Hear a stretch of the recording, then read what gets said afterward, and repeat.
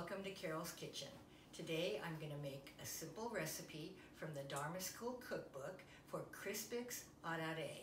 If you don't already have this cookbook, be sure to buy one because it has lots of quick and easy recipes. So you're going to start off by melting one cube of butter, and I use butter instead of margarine. Then you'll add half cup of oil.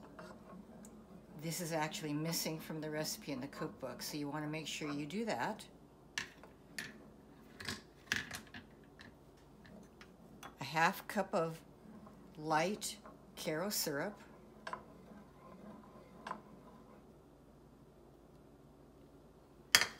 Two tablespoons of soy. I'm using light soy for this recipe and six tablespoons of granulated sugar.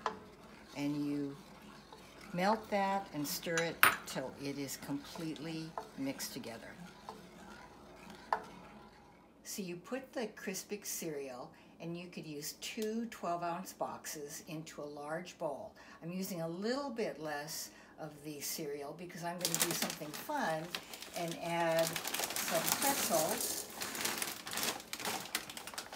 and some popcorn just to make it more interesting, and some peanuts. And it's about a cup. Then what you do is you take your melted mixture of the syrup and the butter and the soy sauce and you're gonna pour it all over. I usually put some in and stir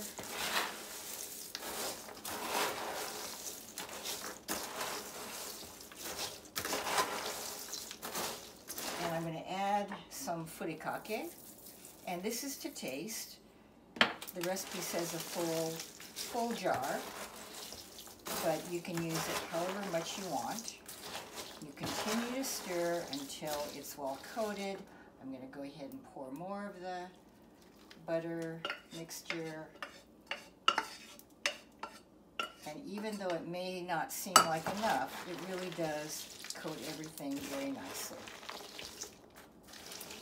After you get it stirred, you're going to pour it into two large baking pans with sides. Now we have the mix in two pans and you're going to bake it at 250 degrees for 45 minutes. What you're going to want to do though is stir the mixture every 15 minutes.